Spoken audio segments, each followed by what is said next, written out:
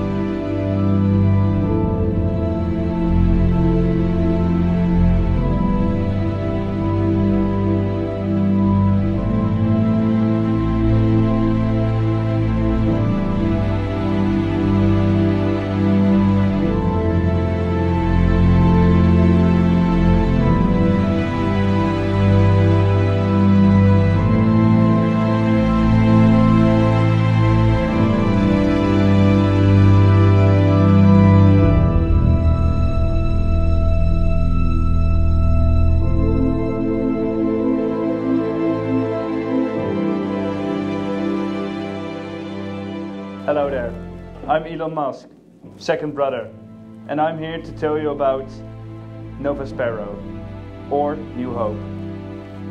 What's wrong with Earth? Earth is a mess. There's war, chaos, poverty, people are starving. The Earth, as we know it, completely changed. We killed so many animals and people that we destroyed nature. There's almost no more gas, oil, and the ground is inhabitable. And don't forget the overpopulation. That means there's no more room on Earth. There's hope.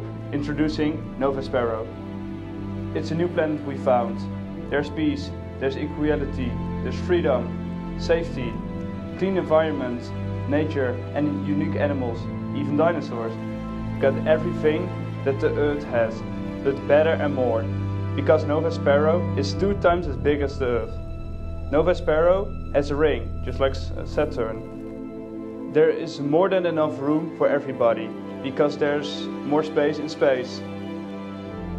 Forget about resources. We go green all the way, only green energy. And if we need something, we always can get it from the asteroids.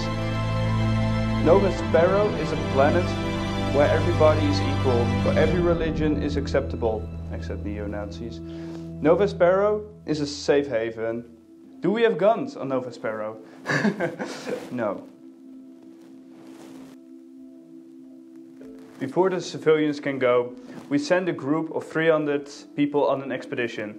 They will prepare for the arrival in 2088. Their task is to find a place where we can build our city, our safe haven. They will make food storages and will start with a power source for green el electricity.